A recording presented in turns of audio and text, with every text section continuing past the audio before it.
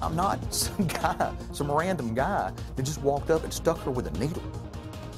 But he is accused of being the so-called syringe rapist. Wait until you hear what this prime suspect says from behind bars about the charges against him. A DNA match broke this case wide open. Sex crimes detectives say they have the so called syringe rapist. Now, just weeks before his trial, he's talking exclusively with News Channel 5's Nick Beres.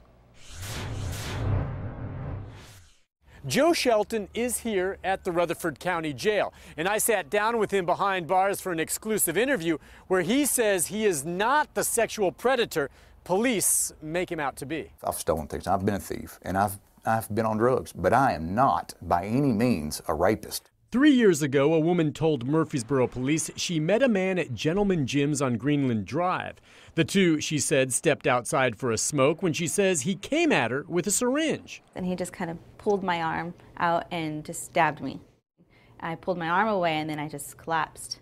The woman says she came to later on the grass near the parking lot, fearing she had been sexually assaulted. Police did a rape kit and they did recover DNA. But they did not make an arrest until this past May with a match on Shelton, who had been arrested in an unrelated case. And they're saying that I'm a, I'm a, I'm a rapist, a syringe rapist, and this and that. And I'm, what's going on? Shelton, who is married, insists he knew this woman, that they had an affair and it ended badly.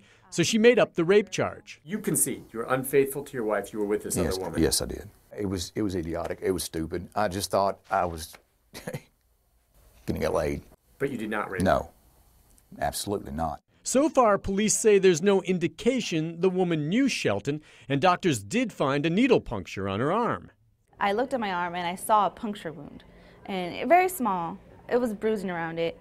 Blood work showed she had a drug in her system. Did Shelton inject it?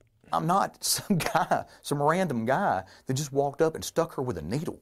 If convicted, Shelton faces up to 15 years behind bars.